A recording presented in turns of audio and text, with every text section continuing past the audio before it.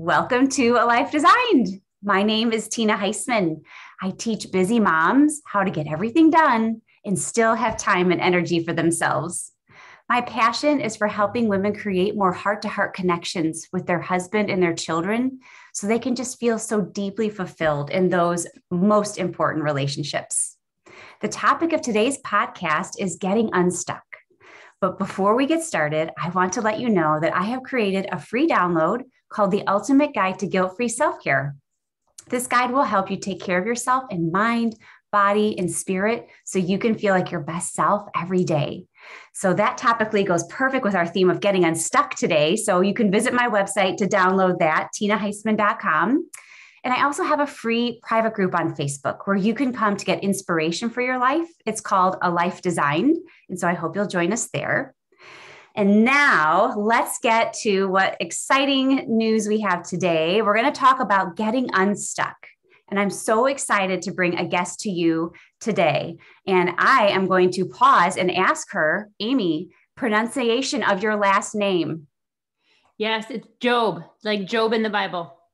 Yes, that is so helpful to remember that way. And yeah. I know I've known you for a couple of years now, but I feel like I learn the right way and then my brain forgets it because it looks different than it is. Yes. And so thank you. I want to make sure I get that right. Amy Joob. So we have known each other for a few years now. We are in a Christian women's speakers group together. So Amy, she's actually an award winning author and a motivational speaker and a former model. Amy loves to share stories about how God has used her in her family's greatest pains to birth their greatest purpose. And I think you can see why I like her because that is very similar to the thoughts that I have about our pains. So, Amy tries to inspire women and men and families to pray for and advocate for one another locally and around the globe she is really an inspiring advocate. If you follow her on social media, you'll see she advocates for those less fortunate.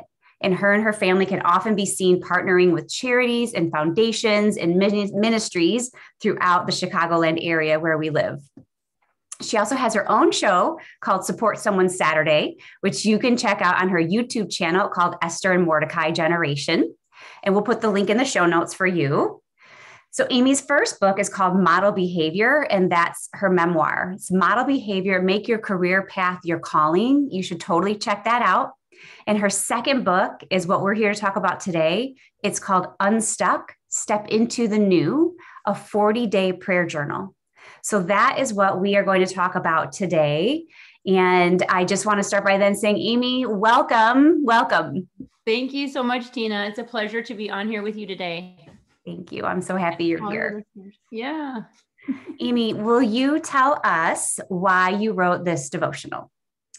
Sure. So it started back in uh, maybe March of 2020 during the pandemic. It was already on my heart to do some type of a devotional.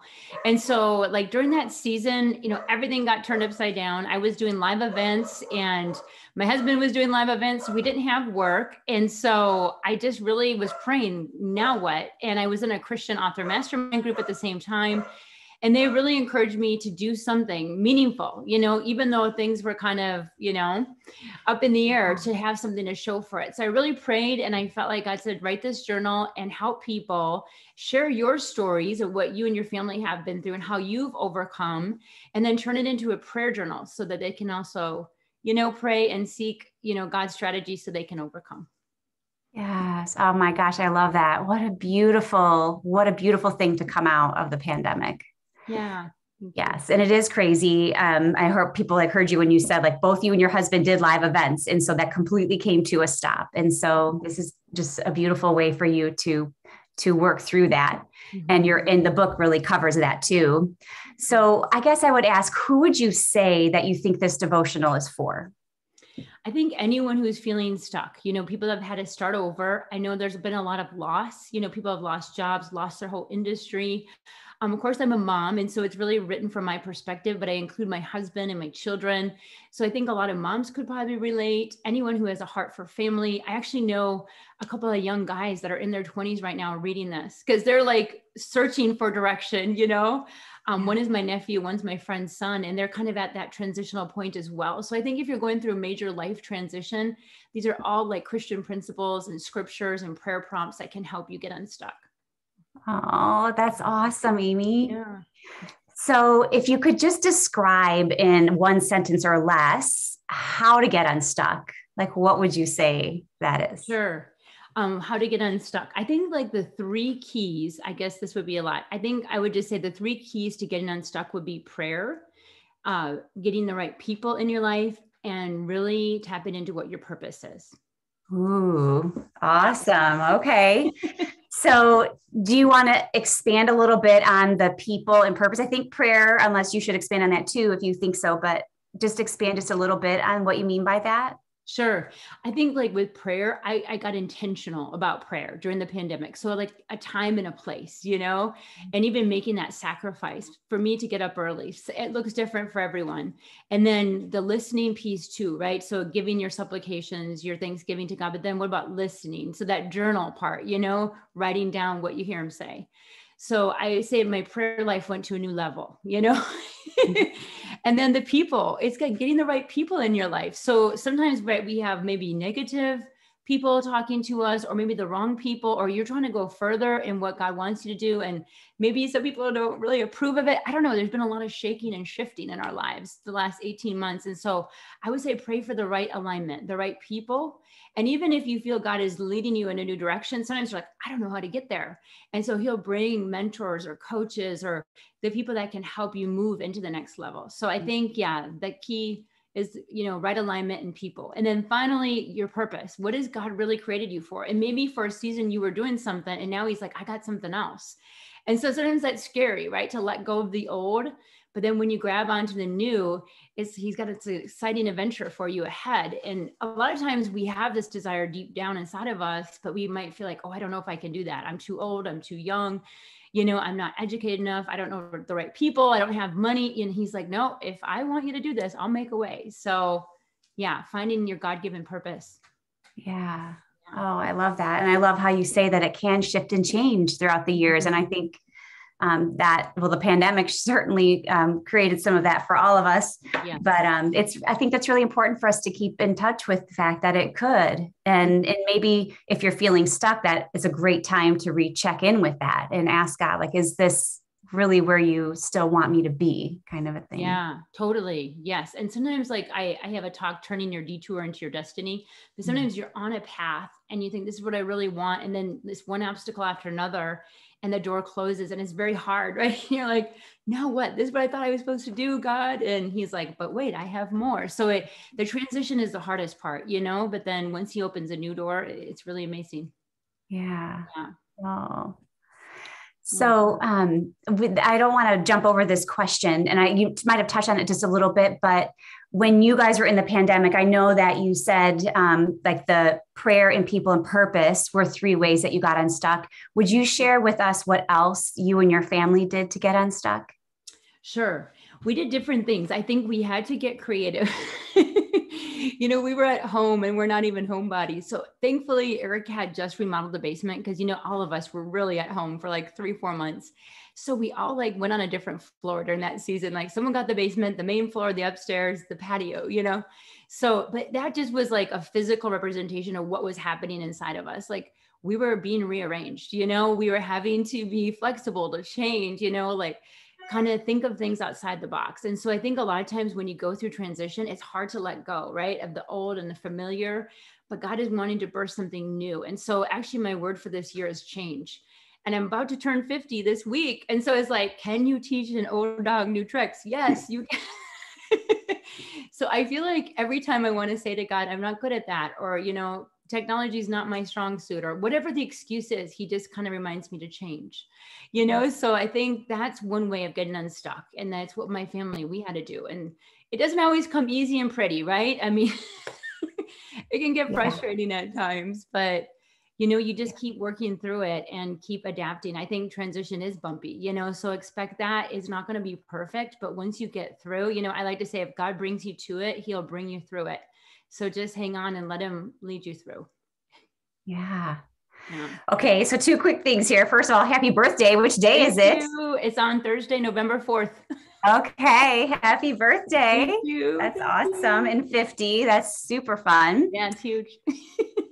It is huge. Yeah. And while we're on that, that personal note, let's also talk about your kids. I should have have talked to you about like tell us how long you've been married to Eric and then the two children and their ages. Sure. Yeah, we've been married for 23 years and then Ariana is 16 and Ashton is 12. Okay. So girl and a boy. Mm-hmm. Yeah. And we're going to talk about Ashton in a bit too. Yeah.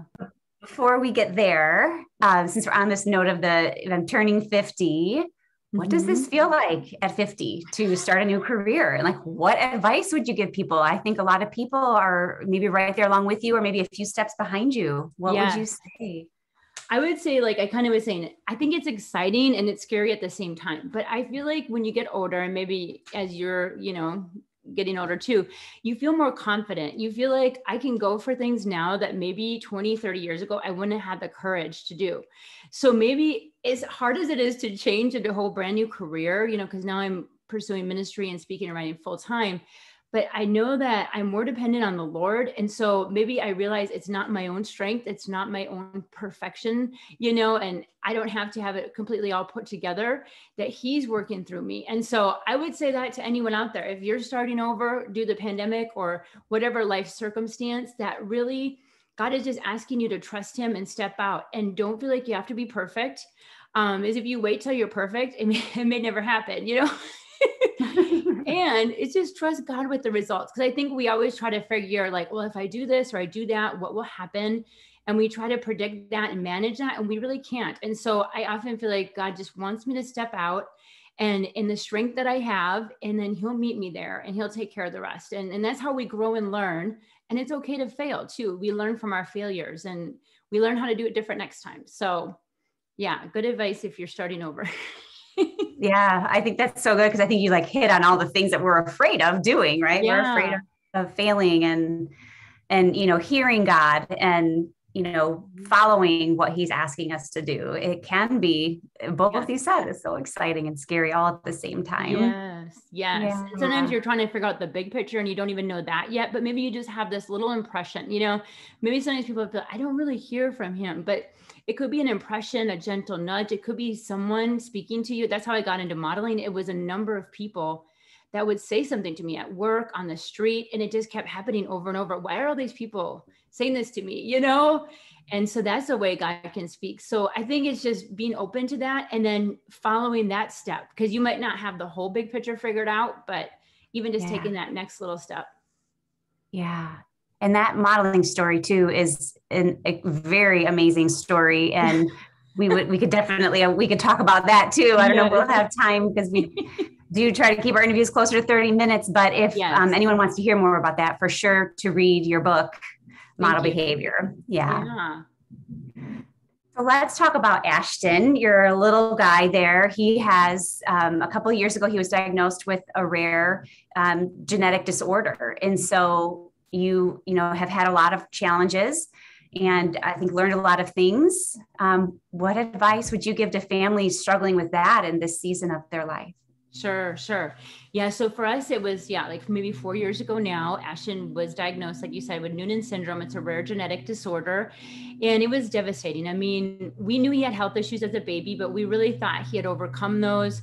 And so I really think when we went into the test, I thought it was going to come back negative. And a friend of ours, you know, because I was fasting and praying and I was worried. And she said, Amy, you know what? Again, just trust God with whatever the results are. And it's God's perfect plan. And that's, it's hard to think that because you're like, I just want everything to be okay and normal, you know? And so when it did come back that he did have Noonan syndrome, it was devastating. It's almost like too much to take in, you know, because it wasn't like your child has strep throat. It's like, this is a lifelong medical condition, you know? And then to find out how many areas he was affected in. But from the get-go we found out from his endocrinologist that he has the more um, moderate you know mild form of noonan syndrome which is good because i didn't realize how severe it could be and even still, like we had to take him to 10 different specialists and doctors to either figure out what was going on or to rule out things. And so it was a long process. And, and I would encourage anyone out there, if you've been diagnosed or your child or your spouse, like give yourself permission to grieve, you know? I think we all grieve in different ways and we learn that too. You know, Eric and I just being man and woman and just different personalities. Um, we grieve different. I remember he just threw himself into his work, which, you know, he's been the main provider anyhow. And I, of course, am more of an outward processor. And so I would cry a lot. And then it got to the point where, you know, talking to some mentors and prayer, prayer partners they're like, okay, I mean, maybe you can find a time and space to do that with the Lord and end up being the middle of the night.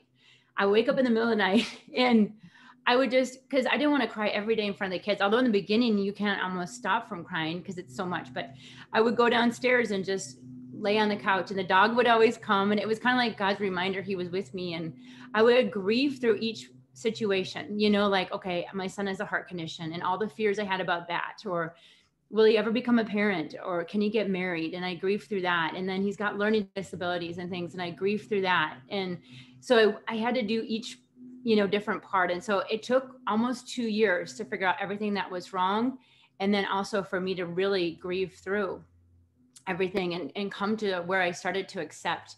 And then i would say to people in that position as well like be open to others. Because sometimes when you're down you want to withdraw right but invite Jesus to meet you there in the pain and then ask for someone like, God, give me someone that I can walk this journey with a good friend, a prayer partner, a mentor, maybe a therapist. So you can share that because you need help getting through that, you know? So you don't want to do it alone.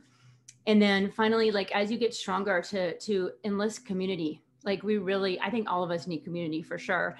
But you know, raising a special needs child, you really need a village. And so I started praying, Eric prayed, you know, we started praying more together.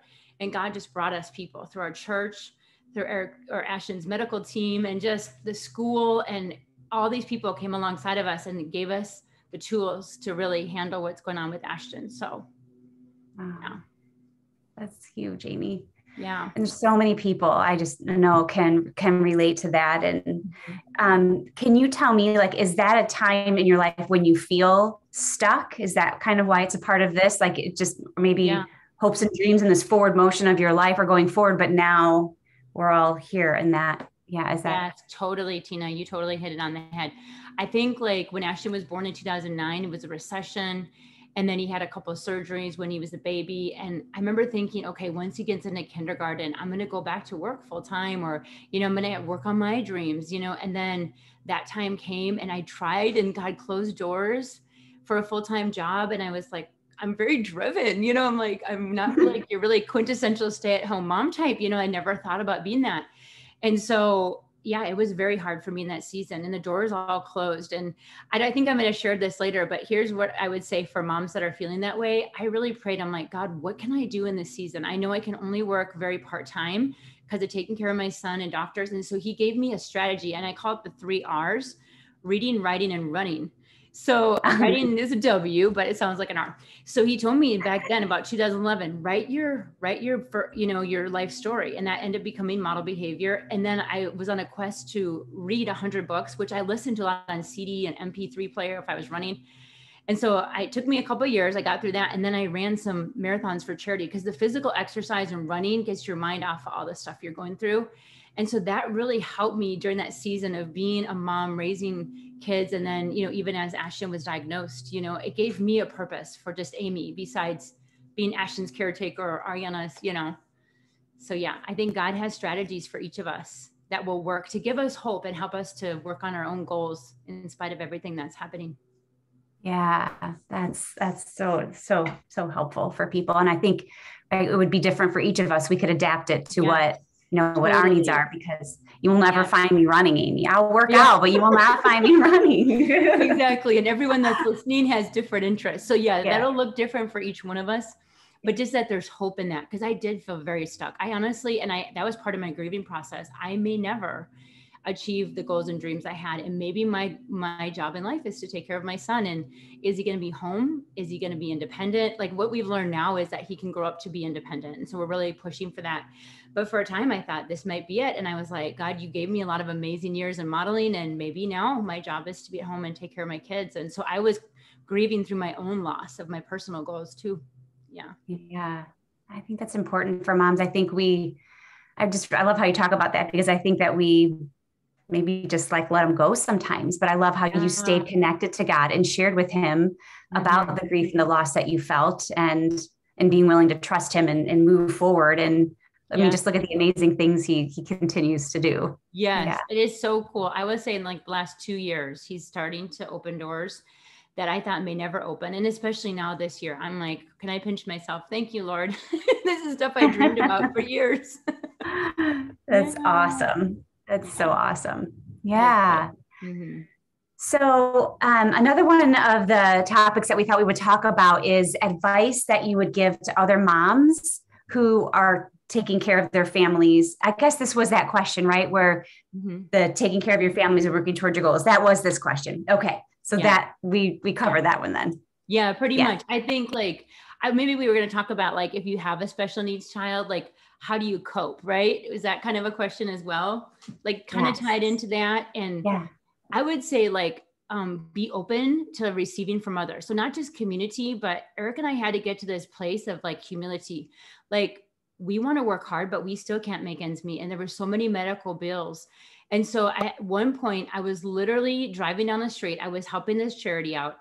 And I was coming home and I was like, how are we going to do all this, God? And we had just gotten denied from insurance on his growth hormone. And we just found out like um, something else that was just devastating news. And so I just said, I trust you, Jesus. And literally my phone rang as I said that. It was my friend Heather. And I thought she was calling because her husband had gone through like a brain tumor and we had really prayed him through. And she was like, Amy, I'm praying for you and Ash and your family. Can we please start a GoFundMe? Literally, as I was praying about it, my friend calls and I just started crying because it was just the timing too. I'm like, we hardly talk on the phone anymore, right? Everything's a text. so I said, let me ask Eric. And Eric was like, yeah, I think we should do it, Amy. And he's usually like, I got this, you know, but we both knew we needed help. And then the help just poured in from so many ways. And so it just, I would just cry sometimes, like, God, you are so good. It wasn't just like financial piece, but like the whole school rally behind Ashton. And we would go to the tire place. They're like, we want to get your tire. We're going to cover your tires for you this time. And I go to the hairdresser and she's like, this one's on me, Amy. And it was just like people loving us right in the midst of that really hard place. And so, yeah, I think if you're going through like a special needs thing or a, a lifelong medical condition, like just be open how God wants to bless you and then kind of another key for us is like look for ways to have fun because you go through so many hard things. I mean, I think in general we all do, but you know, having um, many doctor appointments each week and therapists, and there's always heavy stuff and missed things because of all this. And so we look for times to just go out and have a lot of fun and yeah, try to keep incorporating that, you know, not only into our family, but also our marriage to make that a priority to keep, you know, keep dating and keep the, the lines of communication open. Yeah, so true. I think COVID made that really hard for people too, because it just took away the ability to have fun outside of the house. I know. Yeah. And it was kind of rediscovering something new and different that we could do safely, you know, inside yeah. the house or maybe outside. Yeah. yeah. Like go hiking or we would go places like national parks or, you know, we did yeah. a lot of that. Try to get creative and find different ways, you know, to like family vacation or get away. Mm-hmm. Yeah, it's so important. So important for really like make, keeping that fun going. Because if you think about sometimes when you're stuck, you're just your brain is like on the one track mind of the problem yeah. all the time, right? And so I yeah. hear you saying like have some fun, like get out of yes. the stop thinking about it maybe for a minute and yes. go have some fun and do some fun things. Totally. Yeah. Yeah. That really resonates. It's yeah. like um I just think about even like when you go to a restaurant and you order, mm-hmm. you I I cannot like I have I struggle to make conversation until I like have placed the order and then I know yeah. like everything's going yeah. around. I don't know if that's a good analogy or not, but it's like yeah. it's almost like you're waiting and you're like only focus on the waiting until yeah, and you're kind of like when this gets fixed, then I can do the next thing. But yeah, thing is ongoing. We have to just like go out and have some fun and kind of like what happened last year, like 2020, the summer. We had so many plans and like many people, right? There was disappointment. Like we were going to go to Florida. We have good friends there. Another blessing. They're like, you know, just stay at our house in Naples. So we just have to fly down there. And so we were going to go. And then there was like a spike with COVID and we were all really disappointed.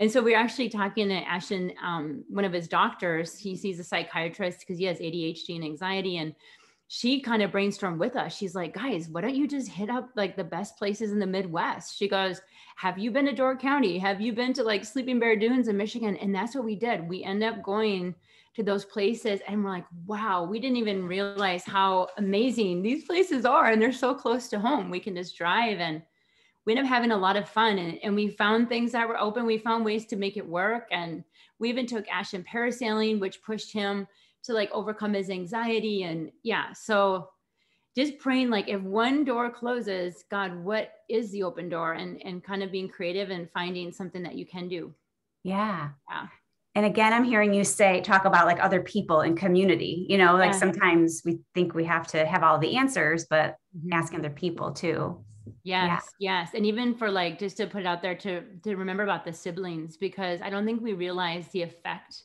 Ashton's diagno- diagnosis had on Ariana. And so now we're really trying to focus on her too. And like, how can we help her? Because she's gone through her own, you know, kind of turbulence yeah. over it. So, yeah, right. Yeah. Aww. Realizing like, even though she's a strong kiddo, like this has been hard on her. So, you know, finding ways to support the sibling or siblings. Yeah. Oh, that's so important. Right. Yeah. Yes. Okay.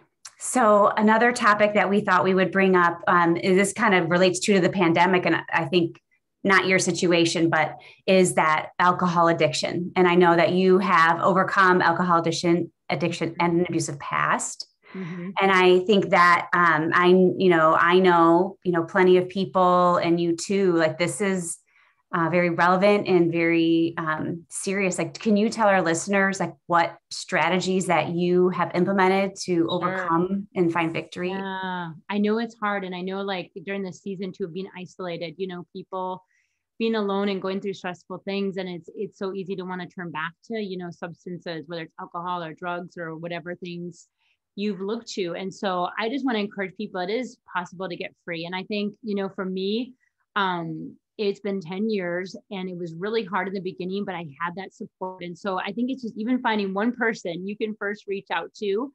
Um, and even just like confessing or telling someone, hey, I want to get help. And so there are places to definitely get help. I mean, some people might need in person treatment. Um, for me, I didn't need that, but I needed Christian therapy. I've gone through a lot of Christian therapy just to help me overcome my past because you realize like you know, drinking was just like a mask or like a band-aid over a wound. And so you really have to start working on the inside. And I guess that can be scary sometimes, you know, to have to face the pain inside and work through it. But when you realize, hey, this is what's causing me to do these things. And so, yeah, definitely getting help, you know, from a therapist, a counselor, a licensed clinical social worker, you know, someone that's professionally trained.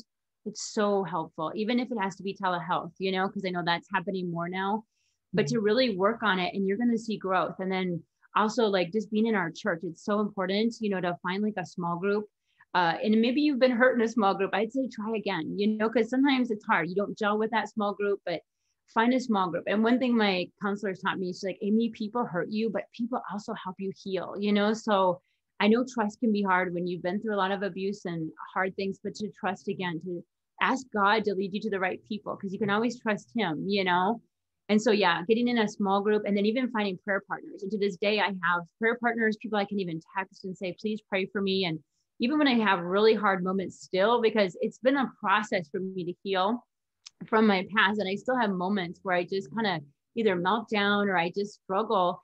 And so I can reach out to these different women and say, please pray, pray for me. I'm in a really hard spot right now, or whatever it may be, or with the kids. And so I think we all need that. We all need people we can just be real with, right? And and ask um, for prayer from. So it definitely it does involve your relationship with God, but community, you know, and the right people again that can help you and support you so you can overcome. You can do it. yeah, just like shining the light on that, right? And I know yes. sometimes it seems that the last thing you want to do is come out in the open about a problem that you're having, but that it can be the best thing to do because we're shining the light on it and we're we're asking for help and to have those people to hold our hand and to help yeah. us is priceless right. right, and and knowing that god put them there for us mm-hmm. right that's yes yeah it's such a beautiful yes, thing he will do it yeah yeah i think yeah. he wants us to get better even more than we do you know he wants yeah i'm sure yeah mm-hmm. yeah All right. So let's maybe finish up with um, kind of this last thought about the, the prayer journal unstuck, step into the new. Yeah. Um, you know, there are people who are listening to us and watching us who might be a little more advanced in their prayers, and people who a lot of people I know, like they really want to, but mm-hmm. things keep getting in the way. Like, what would be your advice on that? Yeah. So I think this is great because like this is like a 40 day prayer journal. So I think it's like takes 40 days to make a habit. And so I thought this is easy. It's just like maybe a page and a half read. It's a personal story. So it'll inspire you. And then if you even start with this and take each day and do one a day, and it's just a couple of prayer prompts and questions to ask you related to that topic, you know? So I think this is a great way to get started if you're looking to get unstuck and you want to be intentional. This will be a guide to help you through that. So I would say, like, again, to find the same time and place. So it, it, could be different for everyone. You could have young children and your kids are napping and that's your time, or you could be a night owl and you go to bed and that's your time, or you might get up early. And if you're a student, you might have some time at school and study hall. I don't know, you know, so it looks different for each of us. But I think just to pray and, and to stay consistent with that time each day where you're praying and journaling. Yeah. Yeah. Well, and I can tell everyone from personal experience that you will struggle to stop after one day of of reading it because it's so good. Yeah. It's, it's, so good. Um, it's like um, mm-hmm. you, of course, you've got the personal story and mm-hmm. it has scripture reference and the life coach in you comes out because then you're giving a couple yeah. of prayer prompts that yeah. are super helpful for people. And so I definitely would all in recommend this book oh. to anyone wanting to get unstuck. And um, so, so grateful that you listened to the call from God to Thank to you. write it and that you could turn your pain into um, a new source of light for other people really thank you thank you that was my hope and it's it's awesome to see it came to pass because you know during the whole thing there was different challenges and I was like, is this going to get done? And even trying to upload it on Amazon, I had a lot of issues. And so I'm just so thrilled that it, it's out. I'm like, God, you're good. Yes. yes. yes.